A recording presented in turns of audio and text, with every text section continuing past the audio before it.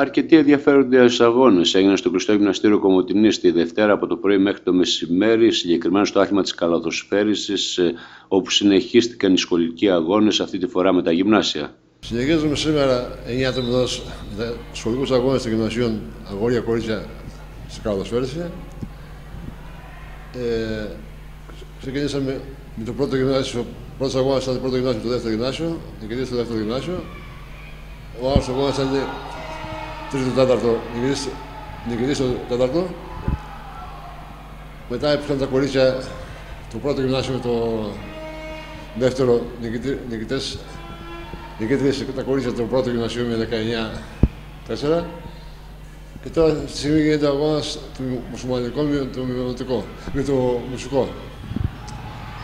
Ο αγώνας γίνεται πλαίσιο του σχολικού πρωταθλήματος γυμνασίων, κατά τι και έχει μεγάλη επιτυχία. Το επίπεδο βλέπω ανεβασμένο. Ο βασικός σκοπός είναι για να προωθηθεί το παιδί, να αγαπήσουν, να τραβήξουν τα παιδιά στα αθλήματα κοντά, στις καλασφαίρε, όπως